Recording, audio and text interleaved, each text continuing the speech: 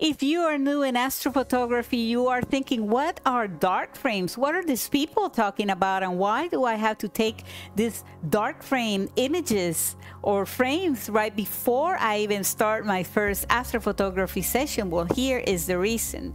In astrophotography, you take many, many, many pictures of whatever you are photographing. Let's say you are photographing the Orion Nebula and you're going to take 200 photos or 400.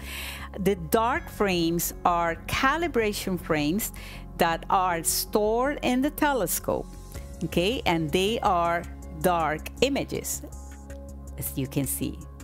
These dark images are going to help in the process of stacking the images, okay? So what this telescope is doing is as you are taking images of the sky, it is putting all of this image number one, number two, number three, number four, and so on up to the last number that you put there. And all of those images are going to be one on top of each other. And they are going to align with each other. And because there is field rotation the stars and everything is moving right? So it's going to start stacking the images this way something like this. And you're going to see some black lines on the edges of those uh, live stacking.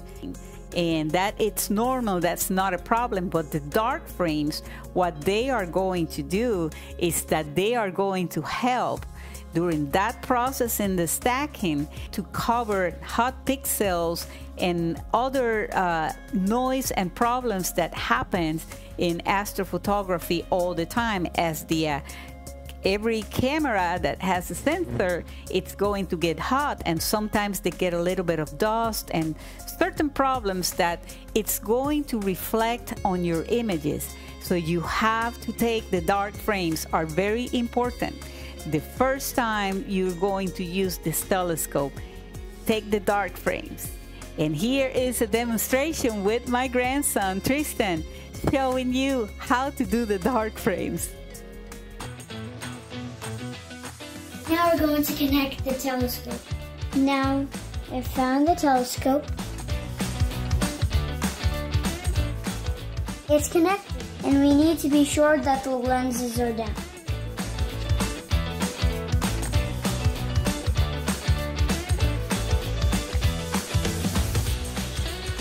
Now I'm going to put it in the bag in a real dark place.